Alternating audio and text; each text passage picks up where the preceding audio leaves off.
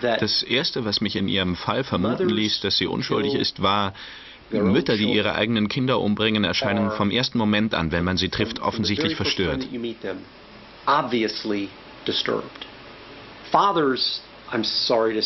Väter, entschuldigen Sie, dass ich das sage, können ihre Kinder umbringen, ohne auf Anhieb den Eindruck von gebrochenen Menschen zu machen.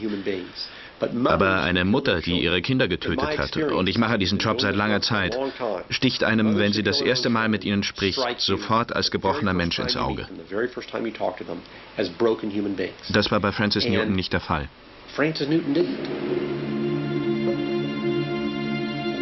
Die juristische Vertretung von Francis Newton ist Teil eines Innocence Projects der juristischen Fakultät, wie es ähnlich auch an anderen Hochschulen existiert. Ein Seminar, in dem die Studenten sich nicht mit fiktiven, sondern mit realen Fällen beschäftigen, die oft Jahre zurückliegen und für die Justiz als abgeschlossen gelten.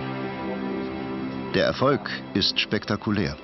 Allein aus den Todeszellen der USA wurde in wenigen Jahren eine enorme Zahl völlig Unschuldiger befreit. Oft von Studenten, die von den Justizbehörden nicht einmal unterstützt, sondern nach Kräften behindert werden.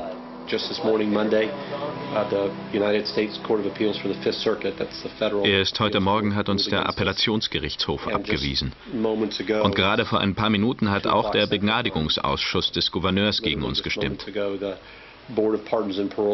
Eigentlich hatten wir gedacht, dass unsere besten Chancen bei diesem Begnadigungsausschuss liegen.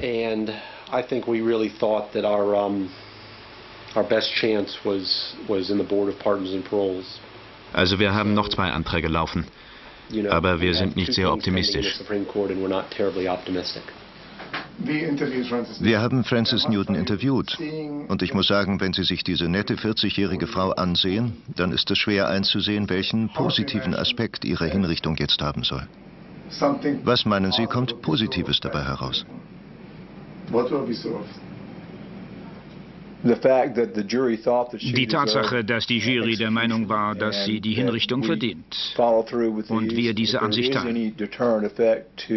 Wenn es überhaupt einen abschreckenden Effekt durch die Todesstrafe gibt, dann ginge dieser Effekt uh, verloren, wenn wir sagen, uh, naja, wenn jemand hübsch aussieht, dann verzichten wir auf die Hinrichtung. Das ist Francis, als sie 18 war. Ich glaube, das ist mein Lieblingsbild. Dieses hier ist von ihrem Schulabschluss. Und das ist Farah mit 20 Monaten. Mit 21 Monaten ist sie gestorben. Uh, Francis, ihr Mann und Elton, als er drei Jahre alt war. Und das ist Francis und ihre Schwester mit Elton als Baby. Erzählen Sie uns von Francis, als sie klein war. Sie war genauso, wie sie heute ist. Umgänglich und liebenswürdig. Sie versuchte immer alle zusammenzuhalten. Und sie liebt es, draußen zu sein. Als das passiert ist, dachte ich, du meine Güte, wie hält es mein Baby bloß aus, eingesperrt zu sein? Sie hat immer lieber im Garten gearbeitet oder den Wagen gewaschen, als drinnen sauber zu machen, zu kochen oder sowas. Aber in ihrem eigenen Haushalt ist sie doch eine ganz ordentliche Mama geworden. But then when she got her own place, she was the very cleanest one. Free Francis Newton! Stop the execution! Free Francis Newton! Stop the execution! Free Francis Newton! Stop the execution! Für Jewel ist es der zweite Gang nach Huntsville. Schon einmal vor neun Monaten war die Hinrichtung ihrer Tochter festgesetzt. Dann gab es einen Aufschub zur Überprüfung der Beweismittel. Obwohl die Tests zum Teil an den Fehlern des Polizeilabors gescheitert sind, ist die Frist jetzt abgelaufen. Wann kam das letzte Mal der Aufschub? Zwei Stunden vor dem Hinrichtungstermin, letztes Jahr am 1. Dezember. Was war das für ein Gefühl, als der Aufschub kam? When the reprieve came, ich dachte, Gott sei Dank, jemand hat sich das wirklich mal ganz genau angesehen und nicht nur so oberflächlich, wie das meistens vor Gericht passiert. Und ich war dankbar dafür.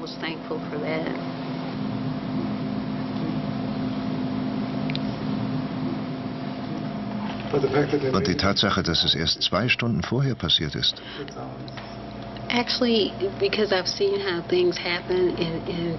Nun, so wie die Dinge hier in Texas laufen, habe ich gar nicht erwartet, dass irgendetwas kommt bis 6 Uhr. Ich weiß nicht warum, aber offenbar läuft das hier so. Ich war erstaunt, dass es schon zwei Stunden vorher kam, weil ich es erst um 6 Uhr erwartet hatte. Day of an execution.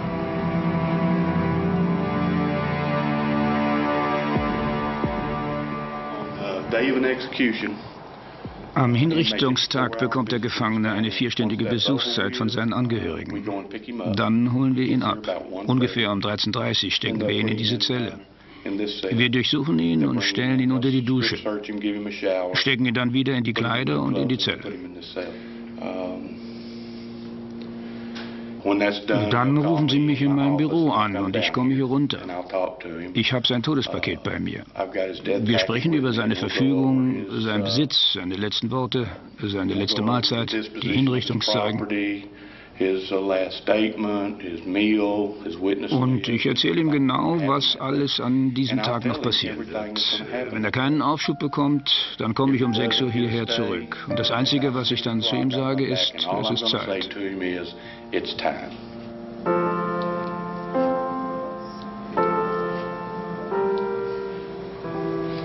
Erzähl uns von deinen Kindern. Uh, Elton, uh, seven years old, and Elton ist sieben Jahre alt. Er ist, er war ein gutes Kind. Er liebte Sport, aber konnte sich auch ruhig beschäftigen. Schon bevor wir verheiratet waren, hat er eine Menge Zeit mit seinem Vater und der Familie seines Vaters verbracht.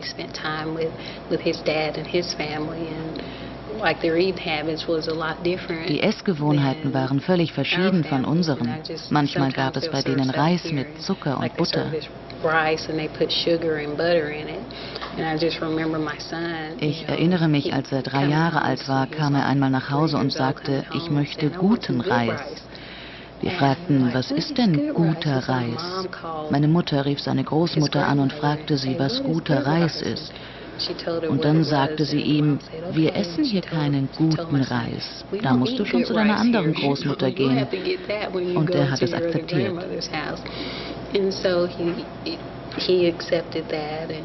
Er war eine Freude. Er liebte die Sesamstraße. Dann hattest du eine Tochter, Farah.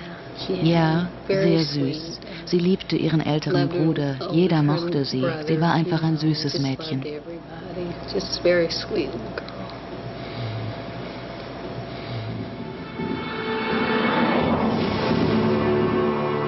Houston an Raumstation. Dieser Satz wurde in der ganzen Welt zu einer Legende. Von hier wurde der erste Mensch auf den Mond dirigiert. Aber das superreiche Houston der NASA, der chemischen Industrie, der Banken und der Ölkonzerne ist nicht die Stadt, in der Francis Newton aufgewachsen ist. Die Rückseite von Houston sieht anders aus. Houston hat im Vergleich mehr Hinrichtungen durchgeführt als jedes Land auf der Welt. Allein dieser eine Landkreis Harris County, da gibt es einen sehr aggressiven Generalstaatsanwalt, ebenso aggressiv wie sein Vorgänger. District Attorney, his predecessor was a very aggressive District Attorney. Sie arbeiten hart dafür, möglichst viele Leute dran zu kriegen. Wenn Sie sich die Liste einmal ansehen, der allergrößte Teil der Leute, die seit 1982 in den USA hingerichtet wurden, kommt aus dem District Harris County. Und gleichzeitig werden in Harris County mehr Menschen ermordet als irgendwo sonst in Texas. Sie können jeden Tag die Zeitung aufschlagen, besonders am Wochenende, und sehen, dass drei bis sieben Leute in Houston ermordet wurden. Das wird durch die Hinrichtungen nicht gestoppt, aber sie machen trotzdem weiter. Nur eine Schlagzeile unter vielen im Zeitungsarchiv der Stadt. 18 Jahre zurück. Frau leugnet Ermordung von Ehemann und Kindern. Waffe im Haus einer Verwandten gefunden. Ein Ehepaar mit Problemen, eine Lebensversicherung, eine Pistole unklarer Herkunft. Auf den ersten Blick passt alles zusammen. Mord aus Habgier und Eifersucht. Die etwas naive Angeklagte bekommt einen miserablen Pflichtverteidiger, der völlig unvorbereitet vor Gericht erscheint.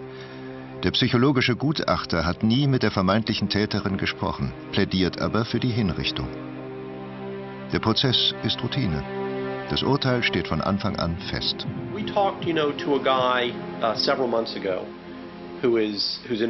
Wir haben vor ein paar Monaten mit einem Strafgefangenen gesprochen. Der hat uns erzählt, dass er damals, als der Newton-Fall in den Nachrichten kam, 1987, 88, dass er damals mit einem Typen im Gefängnis saß, der behauptete, er hätte Newtons Mann und die Kinder umgebracht. Also als wir vor einem Jahr diesen Fall übernommen haben, da sind wir davon ausgegangen, dass er möglicherweise wegen irgendwelcher Drogengeschäfte getötet wurde oder weil er irgendwelchen Leuten Geld schuldete. Das Problem ist, wenn Sie 17, 18 Jahre nach einem Verbrechen versuchen, es aufzuklären, dann ist das außerordentlich schwierig. Aber wir gehen davon aus, dass er umgebracht wurde im Zusammenhang mit irgendwelchen Drogengeschichten. in connection with some sort of drug-related activity.